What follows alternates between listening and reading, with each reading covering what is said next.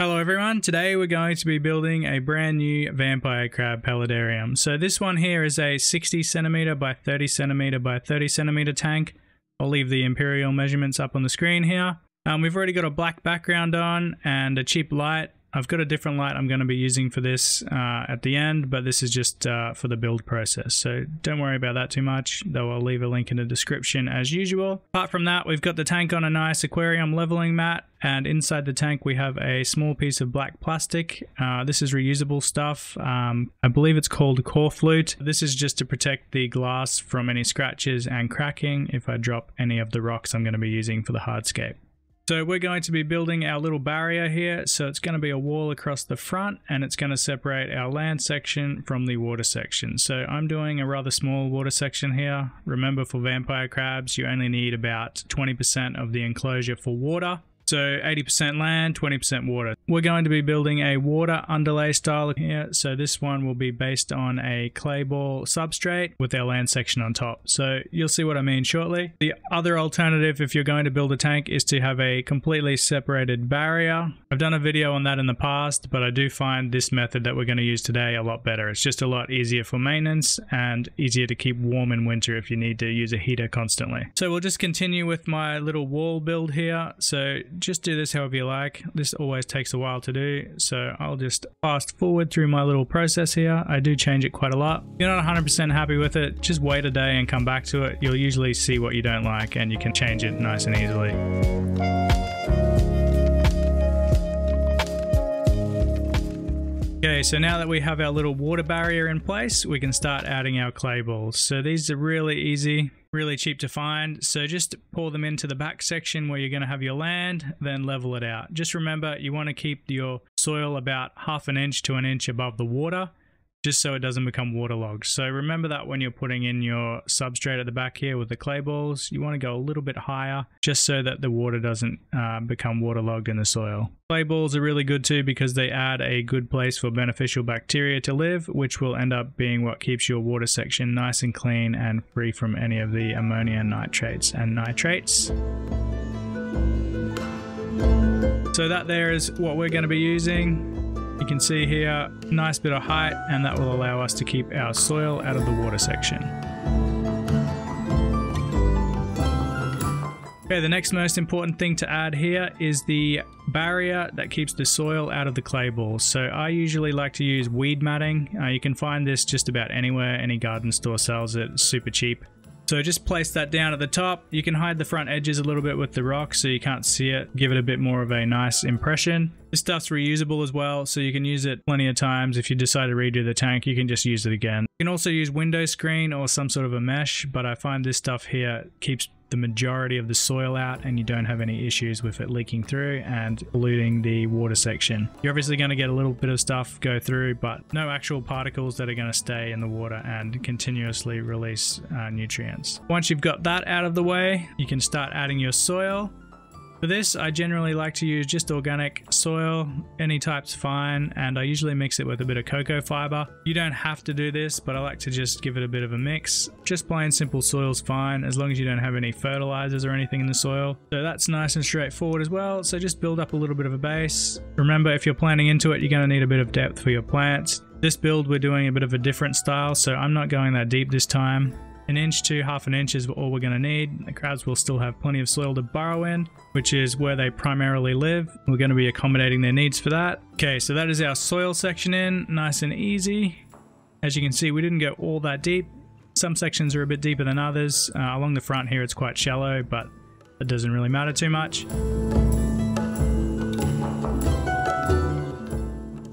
Now we're moving on to hardscape. Again, you can use whatever you like. We're doing a fantasy style build here, so I'm using a nice piece of birch wood. I just found this in the forest. Uh, it took me a long time to find. Um, it's got lots of good character. I do like the look of it. You'll see it a little bit better later on once the lighting gets a little bit better. But the birch wood has a nice texture. It's safe to use, unlike a lot of pine. If you want to build something, avoid any of the pine species. They're not the best to use. They seem to go moldy really quick. Plus, the pine resin and the sap isn't very good for your tank, so definitely avoid those altogether. Okay, so our hardscape here is going to be nice and simple. One big piece of birch wood, as you can see, bit of a mutated piece Got strange branches coming out of it. Definitely got a lot of character. We'll cover the saw cuts up later on so they don't look so silly. Okay, so this is a nice simple piece of hardscape, so I don't have to do anything dramatic. We're not creating anything crazy with this. One piece solves the problem. However, if you're going to do something a little bit more intricate, take your time with it. Definitely do it over a couple of days. Don't try to rush it all in one day because you will change your mind during the process.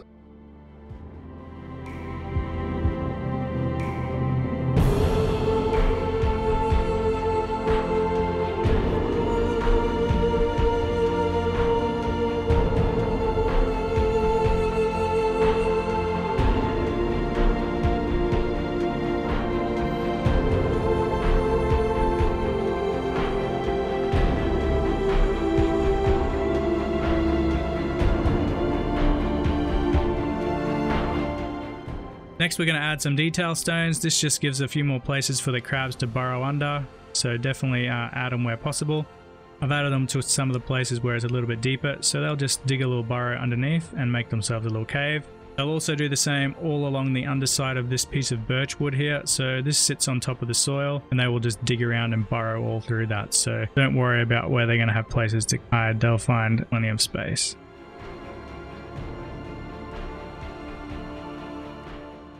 Okay, so as I said earlier, we're not going to be planting this tank too heavily. We're going for a different style here completely. There is a reason for this. I know a lot of the time we do heavily planted tanks for these crabs to give them a lot of shelter and places to hide.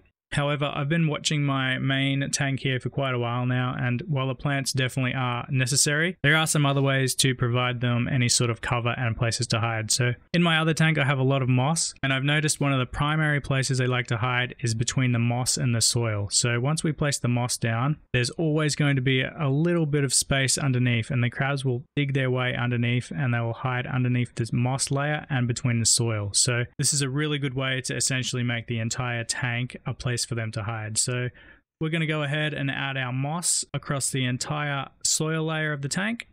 And this is how we're going to get away with not using any leaf cover, any plants or anything else. So the good part about this is as well that the crabs eat moss. It's one of their favorite things to eat. So as the moss grows, they will just chew on it like cows. They are pretty big grazers. So this is the other benefit. The only thing we need to be careful of here is moss doesn't like to be too wet. So this is where our soil being higher than the water layer comes very important. So if you are using plants, it's not as important. But with moss, you definitely need to make sure that the soil isn't waterlogged. Okay, so we're going to go ahead and add moss to the entire base of this. Moss I'm using at the moment is harvested from a little patch not too far from my house. I've got one log there that I leave basically easy to access and it's just covered in moss and I just raid it as it grows back. So it's quite a nice sustainable source. You can keep this stuff wherever in your house if you want to grow your own moss, but for me, that's where I'm doing it at the moment. It grows really quickly and it's easy to harvest.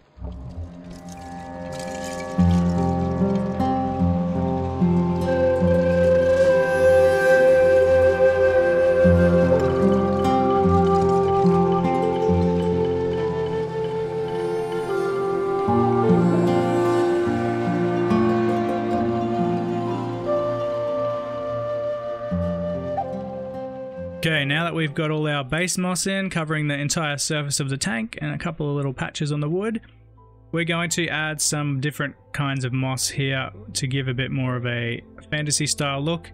So the first thing you need to do for this is to get some cotton. This is just some organic cotton here. You can use anything, but I find cotton's cheap, easy, and it degrades at a sort of a slow enough rate but it still does degrade unlike fishing line. So we're just going to tie this on and then we're going to add our moss. I'm not 100% sure what type of moss this is though it's a different stuff uh, to what we used on the base. Uh, it's more of a climbing moss. You generally find this stuff on tree trunks, which is why we're going to be using it for these branches. So if you've applied moss to anything in an aquarium, we're using the same process. So we'll just lay it on and then wrap it on with the cotton. So pretty straightforward. We're going to do this quite a few times to a few different sections. And over time, the moss will take hold and it will start to spread. So that's the aim for this one. The only thing we're going to possibly have issues with here is uh, it gets quite high and quite close to the light. So we're going to need a lot of misting and moisture. So depending on how this works out, you can also add a layer of fabric here. This will will keep the moisture in a little bit better,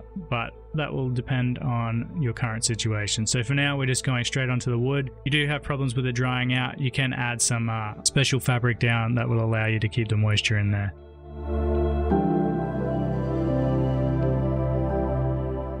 Now that the moss is all sorted, we can add our substrate for the water section. So for this, I'm using just plain white sand. Uh, it's recycled from my last aquarium build, so there's a little bit of gravel in there. I'm going to dig all that out at some stage. So we're going to put a nice little layer in here. You can use whatever you like. Sand or fine gravel works best. Try to avoid big rocks if you can. It just gives the crabs a bit of an easier time when they're molting. And they always molt in the water, so just be aware of that as well. So you do need some sort of hiding places. As you can see, we've got a little cave here on the left, and we'll add some more details to the water section once we've got it established. But for now, we're just going to put the sand in, spread it all around, and then we can add water.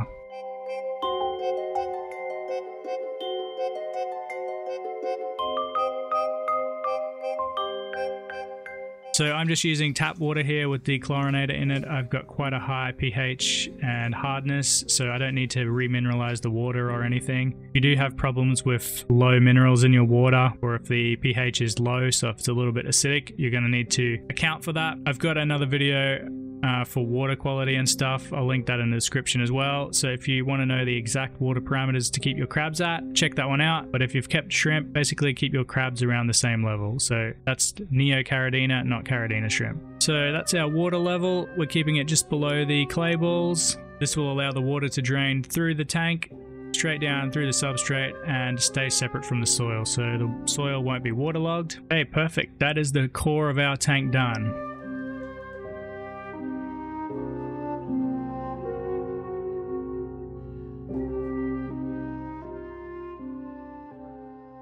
So moving on to the next part of the build, I'm going to be adding these awesome little crab cribs from Chris at Symbiotic Glass. He sent these over a while ago. He's been making scientific instruments like viscometers and spectrometers for the last 15 or so years, and he also started making some interesting stuff for his fish. First he started off making a little home, kind of like this little crab hovel here for his Scarlet Badis, but he ended up finding out that his Cories and his Otocinclus loved it more, and they basically made his Scarlet Badis homeless. So after hearing that, I thought I'd get a couple of these and see how my vampire crabs like them. You'll see a little bit later in the video, they find really weird ways to use them. So these ones here were a custom order I chose the color and everything, and they also glow in the dark, which is super cool. And they also come up really cool under UV light. So if you got a black light or a UV light, they look really cool. I haven't been able to find one that'll work for my tank yet, but it's definitely something on my list. I'll leave a link in the description to his store and you can check out what he's got on offer and we'll just start putting these bad boys straight into the tank. So I've got a few different things here. So we got some mushrooms. These are mostly just a decoration thing. I wanted to sort of get a fantasy style forest vibe going here. Just got to wait for the tank to grow in. And as well as that, we got these sweet little crab cribs. I've had these in the tank for a while now, even though you're just seeing it now, but the crabs really do like them. Some of them live in them, some of them seem to be using them as feasting halls or dining halls, maybe even traps. I haven't quite figured it out yet. They're definitely cool little additions. Anyway, I'm going to go ahead and add everything to the tank, then we can start adding our crabs.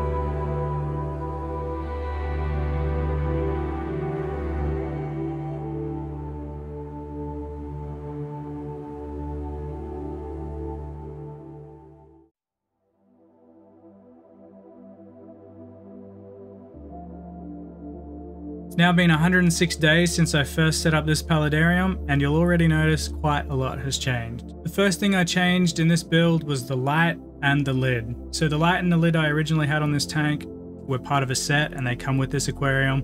But I noticed this meant that the moss was drying out really quickly and I couldn't keep up the spraying enough to keep the moss alive. So I just switched over to a clear plastic lid, just an acrylic one, drilled some air holes in it, and then changed the light. The light now sits a lot higher. You'll see it here, it's attached to the shelf above, and this gives a lot better light spread, and it doesn't put so much heat into the tank, which is drying the moss out. The crabs didn't really mind, they quite like a hot, warm environment with a lot of humidity, but the moss at the top of the tank was really struggling.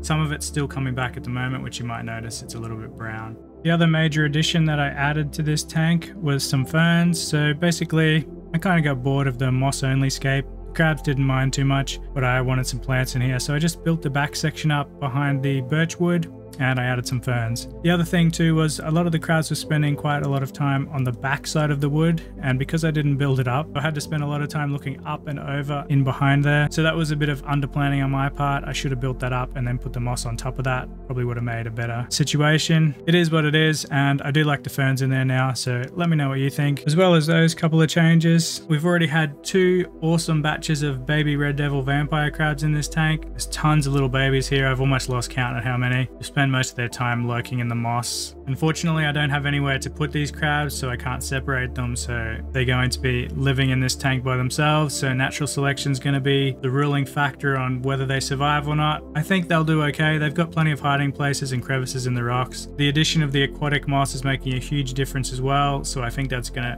be really beneficial for them. If you do plan to keep babies alive, this is definitely something I highly recommend. The same for the shoreline as well, have a lot of moss near the shoreline because they do move between the aquatic moss and the terrestrial moss quite a lot. So that's just something to be aware of if you do have baby crabs. Outside of those few changes, not much else has taken place, but I do want to add something really interesting with the glass hovels. The crabs didn't really interact with the mushrooms so much, which is obvious. They were more of a cosmetic sort of a theme, which I quite like. But the little glass hovels or the crab cribs have been really interesting because depending on their placement, crabs interact with them really differently. So the two at the front of the tank, they're kind of like dining halls or feasting areas and the crabs drag whatever they want to eat into these things and just munch away in there. Quite often I'll find chewed up snails, snail shell, salvinia, bits of old crab malt lying in the bottom of them. And I've even seen one crab ambush ambush an isopod that's ventured into one of the cribs to eat some of the scraps lying around. So that was pretty cool. If the crabs possessed any sort of intelligence rather than instinct, I would almost think that this was some sort of a trap, like an ambush, because I do see quite a lot of isopod shells and scraps lying inside the two front hovels. So it is possible that the crabs are actually learning